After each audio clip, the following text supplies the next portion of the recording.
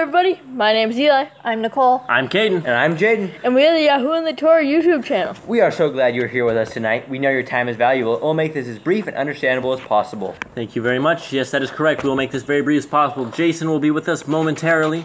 And we are, we left off on 47. That's where we'll be starting tonight. A little bit of a recap of what happened was that the brothers of Joseph, after they had thrown him in the well, Joseph became uh, a slave. He became he went to jail, and now he's like one of the rulers. He is second to Pharaoh, the king of Egypt, and he has basically brought his family down. He's got all this food for them. There's a famine in the land, and that is where we're at.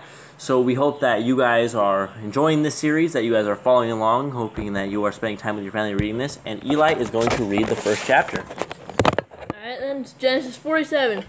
Then Joseph came and told Pharaoh and said, My father and my brethren and their flocks and their herds, and all that they have, are come out of the land of Canaan.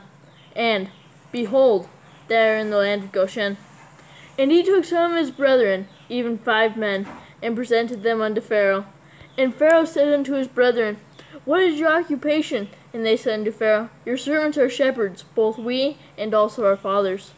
They said moreover unto Pharaoh, For to sojourn in the land are we come, for your servants have no pasture for their flocks, for the famine is sore in the land of Canaan. Now therefore, we pray you, let your servants dwell in the land of Goshen. And Pharaoh spoke unto Elioseph, saying, Your father and your brethren are come unto you. The land of Mitzrayim is before you. In the best of the land make your father and brethren to dwell. In the land of Goshen let them dwell. And if you and if you know any men of activity among them, then make them rulers over my cattle. All right, so right there we get Pharaoh. Right, he's talking to Joseph and his brothers, and they're like they're shepherds, and apparently that's a that's an evil sight in the eyes of the Egyptians. It could be religious reasons. We don't know. If anybody knows in the comments, please let us know. But uh, Pharaoh says to Joseph, if you know any of your brothers, any of your men that are able to watch my herds as well, so they also get another job based, and they get all the land in Goshen, which is perfect for feeding cows and pastures. And uh, Pharaoh gave them another job, gave them something good to do. Uh, verse 7. And Joseph brought in Yaakov, his father, and set him before Pharaoh. And Yaakov blessed Pharaoh. And Pharaoh said unto El Yaakov, How old are you? And Yaakov said unto Pharaoh, The days of the years of my pilgrimage are a hundred and thirty years. Few and evil day have the days of the years of my life been, and have not attained unto the days of the years of the life of my fathers in the days of their pilgrimage. And Yaakov blessed Pharaoh, and went out from before Pharaoh.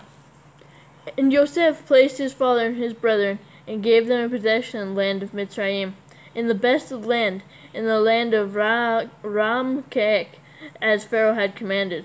And Ramkek is Ramses. And Joseph nourished his father and his brethren, and all his father's household, with bread according to their families. And there was no bread in all the land, for the famine was very sore. So the land of Mitzrayim and all the land of Canaan fainted by reason of the famine. And Joseph gathered up all the money that was found in the land of Mitzrayim, and in the land of Canaan, for the grain which they had bought. And Joseph brought the money into Pharaoh's house. And when money failed in the land of Mitzrayim and in the land of Canaan, all the Mitzrayim came unto Elioseph, and said, Give us bread, for why should we die in your presence? For the money fails. And Joseph said, Give your cattle, and I will give you for your cattle, if money fail.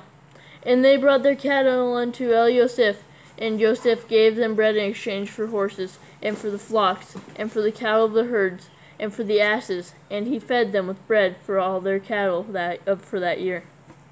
All right, so what happens here is everyone there is no money left. There is they have they are they're down to no money, and then they're like, please, we need food. We have no food left, and they give up their possession. They start with their cat their uh, cattle, and they go to their, like their lands, and then they go to their they become slaves. So these people sell everything they have down to the point where they sell themselves as slaves because they are so hungry and they have no food left. When that year was ended, they came unto him the second year, and said unto him, We will not hide it from my Adonai, how that our money is spent. My Adonai has also our herds for cattle. There is not aught left in the sight of my Adonai, but our bodies and our lands.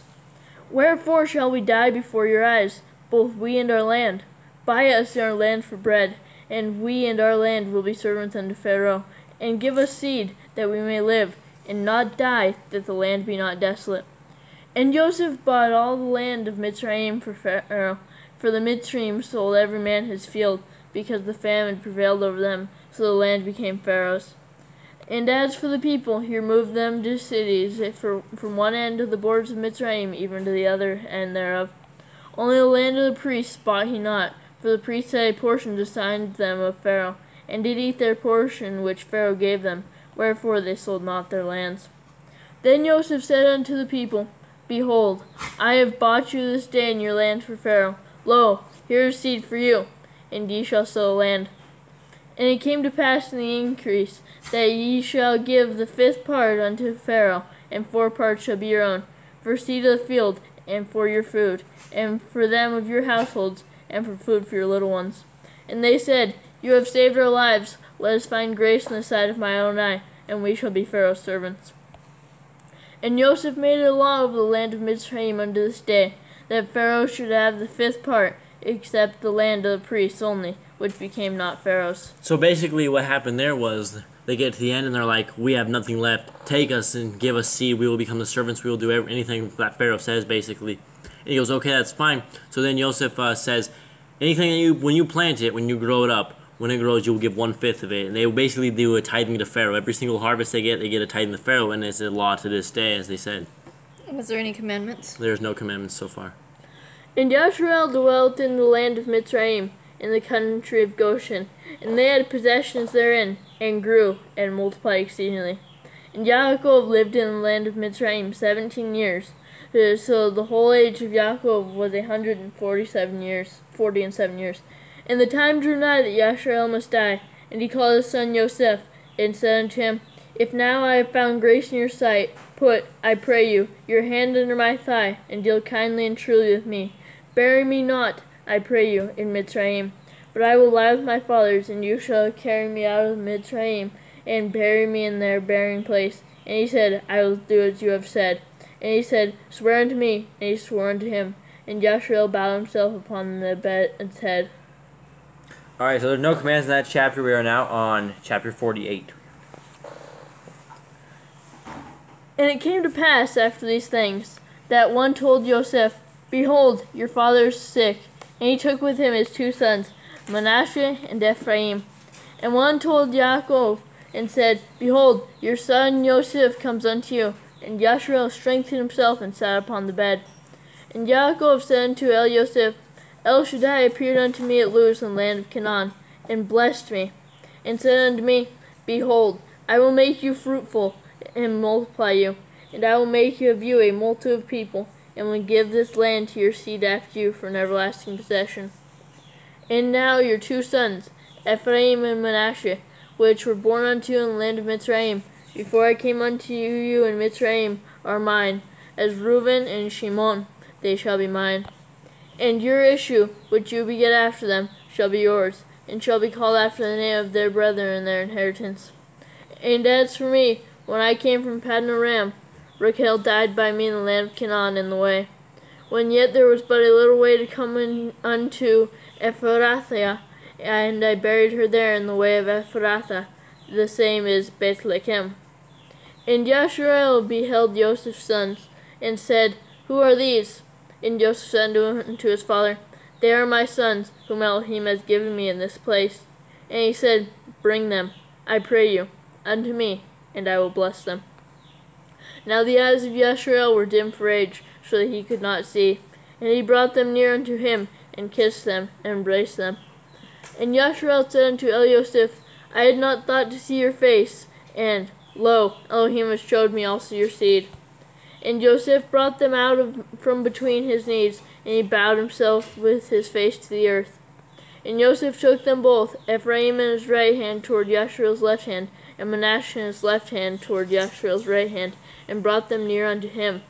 And Yashrael stretched out his hand, and laid it upon Ephraim, stretched out his right hand, and laid it upon Ephraim's head, who was the younger, and his left hand upon Manasseh's head, guiding his hands whittlingly for Manasseh was the firstborn. So what happened there was when he came out to bless him, he crossed his arms, he crossed his hands on this thing, because I don't know if it's because he, the younger, was blessed, or he had seen a vision, or he had been told this, but he crossed his hands to bless them differently, to bless the younger one more than the older one. Right. and hello, everyone. This sets up stuff for in the future as well, um, for when blessings are not given to the other kids and blessings are given to these kids. Okay, so where are we at, Nicole? 15. 15. And he blessed Joseph and said, Elohim, before whom my fathers Abram and Yitzchak did walk, the Elohim which fed me all my life long unto this day, the angel which redeemed me from all evil, bless the lads, and let my name be named on them, and the name of my fathers Abram and Yitzchak, and let them grow into a multitude in the midst of the earth. And when Joseph saw that his father laid his right hand upon the head of Ephraim, it displeased him. And he held up his father's hand to remove it from Ephraim's head unto Manasseh's head. And Joseph said unto his father, Not so, my father, for this is the firstborn. Put your right hand upon his head. And his father refused and said, I know it, my son, I know it. He also shall become a people, and he shall be great. But truly his younger brother shall be greater than he, and his seed shall become a multitude of nations. And he blessed them that day, saying, In you shall Yashrael bless, saying, Elohim make you as Ephraim and as Manasseh. And he set Ephraim before Manasseh. And Yashrael said unto El Yosef, Behold, I die, but Elohim shall be with you, and bring you again unto the land of your fathers. Moreover, I have given to you one portion above your brethren, which I took out of the hand of the Emory with my sword and with my bow. And the Emory is what? It's it's Amorite. Amorites. Amorite, so probably a patriotic from an unused Am- I think we actually read a lot about the war they had with the Amorites in Jasher. Yeah, so here we are. So we are getting towards the end of this. Does anyone have any commands or anything that Nothing you guys yet. have seen? Okay, so this is really, you know, this is uh, the Christians have said this is really hard to do, and nobody can keep the law, statutes, and commands. But to this thing, we've only found a whole total of four, Fif- 14. Yeah, 14, almost 15. 14. Okay, so let's continue on. Let's let's blast on through. 49. And Yaakov called unto his sons and said, Gather yourselves together, that I may tell you that which shall befall you in the last days. Gather yourselves together and hear, ye sons of Yaakov, and hearken unto El Yashrael your father. Reuben, this is where things are going to get a little wild. Reuben, you are my firstborn, my might, and the beginning of my strength, the excellency of dignity and the excellency of power. You're unstable as water, you shall not excel, because you went up to your father's bed, then defiled it. He went up to my couch. He's like, he's like explain this to everyone because I maybe no one knew about this. Yeah, so if you guys don't know what's going on here, if you guys are just joining us, Jade, go ahead. Reuben, um, he well, it was going to kind of like a concubine or something like that to Yisrael, Jacob, Jacob, and uh, he saw her bathing, and then he went and lay with her. Yes. And so then Jacob found out, and he was very angry. yes, and so uh, this That is was Bilhah. Yeah, but it was Bill. Yeah, that was Bill. And so basically what you're seeing, you're seeing the end of a generation and a passing of well, this is a curse. There's a curses and there's blessings. And so Reuben got a what? Like a Curse. curse. yeah. He was unstable. I mean, he basically just threw him under the bus. So he's not going nowhere. He's gonna No. like be unsuccessful his entire life. Yep. Bus ride. And he probably did this in front of the entire family, so you're probably sitting there looking at the ground, kicking the dust as you're getting smoted by pops. Okay, Shimeon and Levi are brethren. Instruments of cruelty are in their habitations. Does anyone remember why they, these guys are considered cruelty? Because they killed the The uh, Shechem. king and they killed the entire thing of Shechem, Shechem. for filing Dinah. Yeah, And when, also- when they were in pain. Wasn't there something with animals or something else? There was with these guys. There's something. There's funky? something in Jasher. I don't remember, but, but They were little Verse black. 6 O my soul, come not into their secret, unto their assembly. My honor be not united. For in their anger they slew a man, and in their self will they dug down a wall. Cursed be their anger, for it was fierce, and their wrath, for it was cruel. I will divide them in Yaakov and scatter them in Yashrael. All right, so is that uh, does that sound good or bad? I mean, te- technically, this, awful. this is kind of like uh, Levi got scattered through all Israel. He didn't have a portion, but they were everywhere. Yeah, but Levi ends up being. I mean, all The of these priest. guys end up becoming Like super. It's like heads of the tribes, but I mean, they're all getting smoted. At yeah, they can't feel good as they're hearing these last words of their father. This can't be a good thing to hear. No. Verse 8 Yahuda, you are he whom your brethren shall praise. Your hand shall be in the neck of your enemies. Your father's children shall bow down before you. Yahuda is a lion's whelp. From the prey, my son, you are gone up. He stooped down, he couched as a lion and as an old lion. Who shall rouse him up?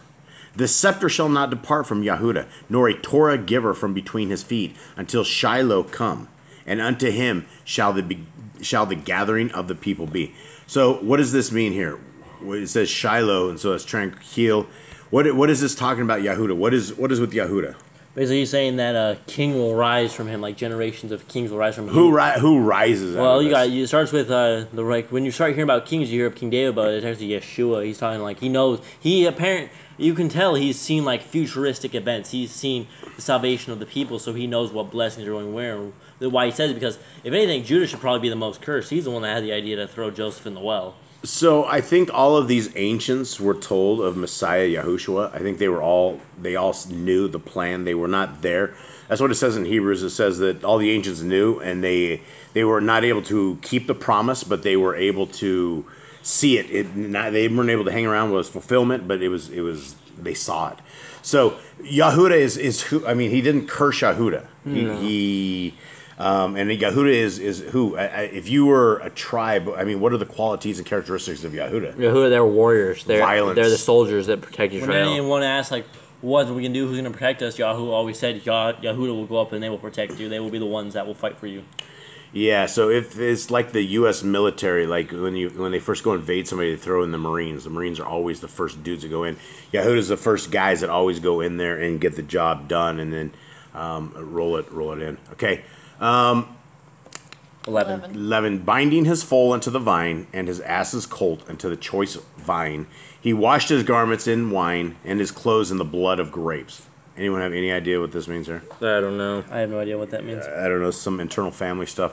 No, So- there's references in mine to Isaiah, Ezekiel, and Revelations. Uh, does it actually give you verses? Yeah. What does it say?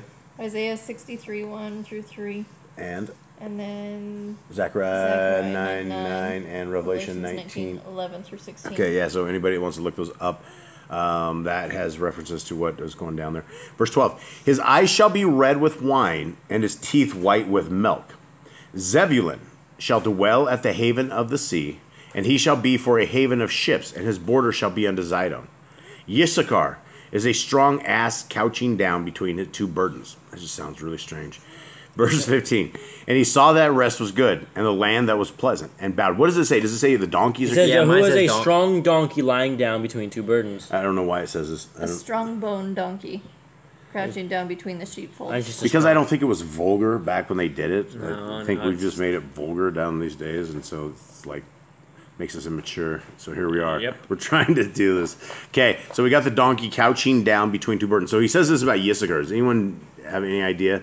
What's your I don't we never really there? Heard much about this one. Issachar. Even in Jasher, Issachar was like one of the most unknown ones. Yeah. so this is some internal family stuff. We don't know exactly what he's saying here. I'm sure some other folks do, but we don't.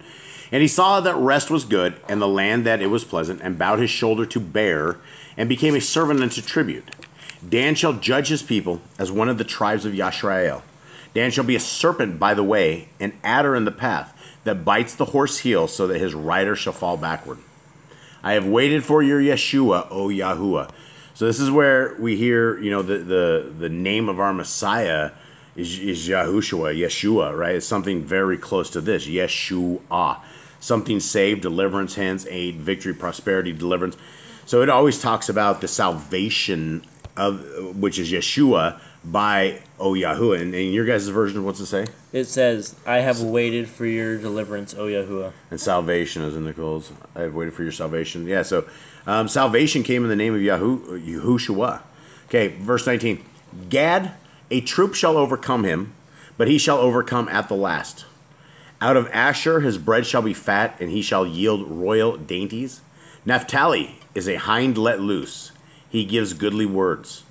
Yosef is a fruit bough, even a fruitful bough by a well, whose branches run over the wall.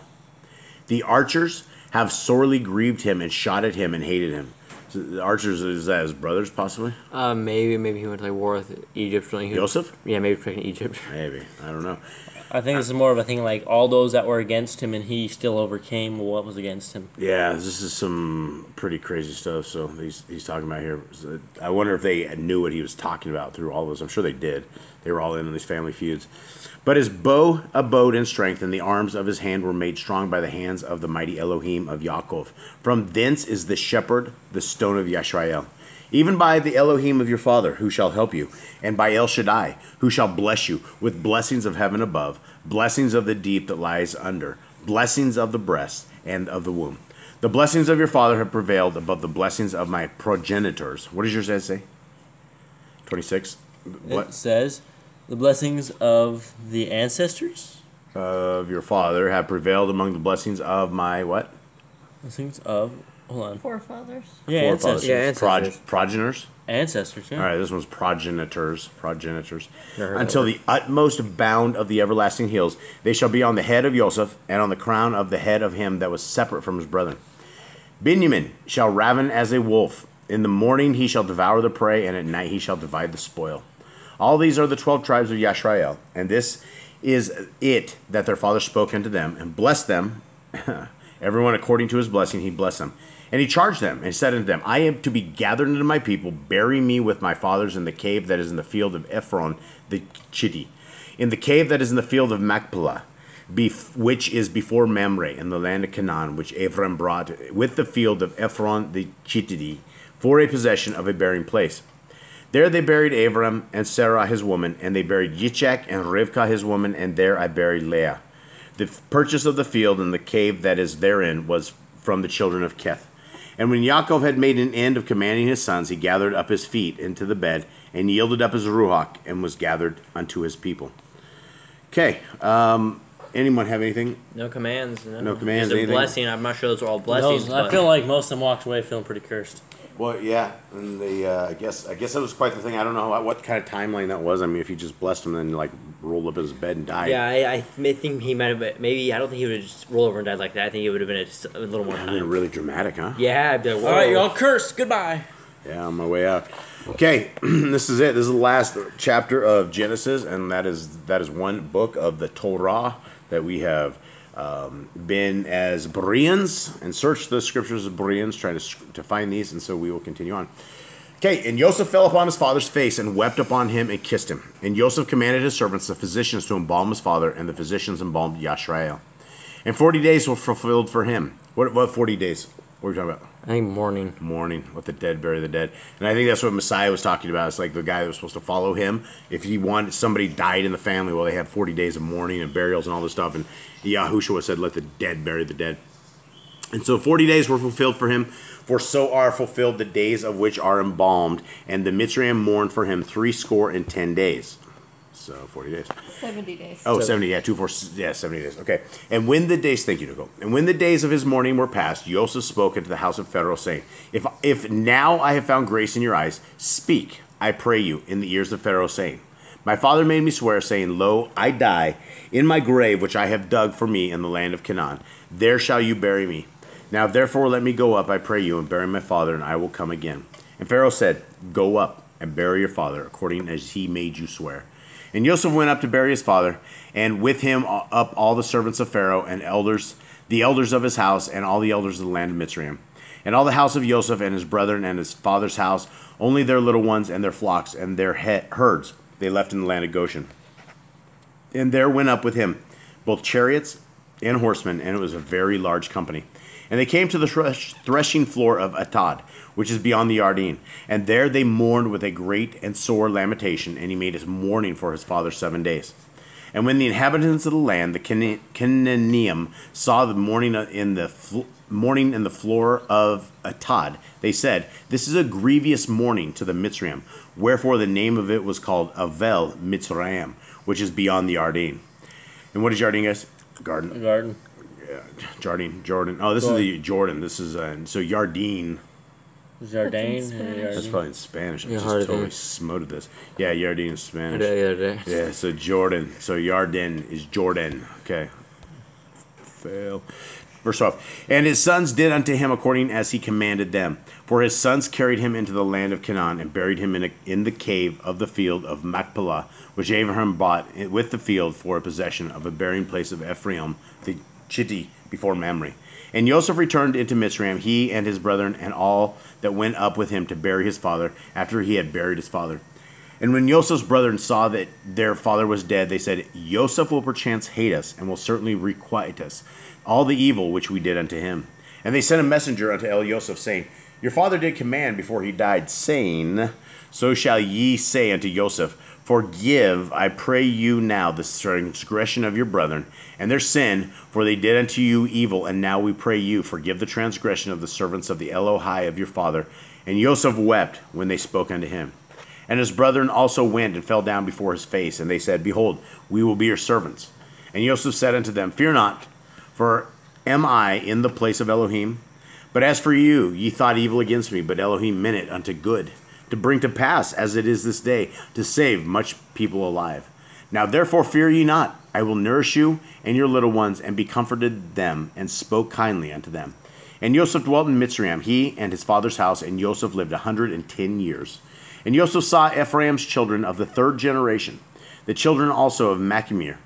And who's that? Machir. Machir. The son of Manasseh. It's a salesman, Machir, a Yeshua, son of Manasseh. Good selling grain, I guess. Yeah, Machir, the son of Manasseh, who brought up upon Joseph's knees. And Joseph said unto his brethren, I die, and Elohim will surely visit you, and bring you out of this land unto the land which he swore to Abram, to Yitzchak, and to Yaakov. And Joseph took an oath of the children of Yashrael, saying, Elohim will surely visit you, and ye shall carry up my bones from hence. So Joseph died, being a hundred and ten years old, and they embalmed him, and he was put in a coffin in Mitzrayim. All right, gentlemen, that is the end of that. And for everybody who's uh, looking into this, there's 50 chapters of Genesis or Bereshith. And I guess that is it. Um, the laws, statutes, and commands are good for all times. I don't believe they have been put anywhere. I believe they are good for us till the end of time, and it will strengthen your family. It will strengthen everything about you guys, and um, it will be blessings. Blessings do come from the Shemaim. They come from Yah. He has given us things, and the people of old, all the old people, Abraham, Isaac, and Jacob, they were attributed in the in the New Testament or the new New Covenant, new not the New Covenant, but the New Testament style stuff in Hebrews specifically, as being faithful, as having faith and and showing that and knowing that Yah will deliver us. And as we get into these dark days, into where it seems like great evil is amongst everybody, we must believe that He will deliver us and deliver you, and He will. He is faithful to us, and He will be faithful to you, like He has said. So, guys, keep your uh, nose in the book. Um, if you guys have any questions, you know where to post them. We thank you guys very much for being part of our digital family, and for everybody that made it through this whole thing, we thank you guys very much, and have a good night. All right, All right, shalom. shalom. See you in Exodus. Bye, everyone.